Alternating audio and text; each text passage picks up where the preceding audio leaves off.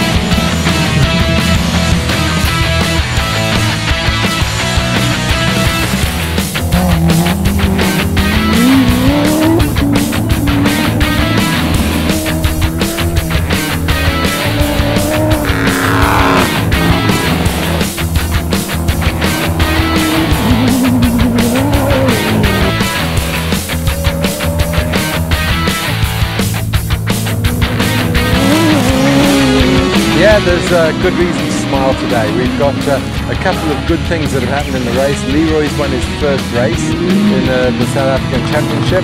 It's Leroy and Rob's first race win together, and of course it's Toyota's win for the uh, for the season opener.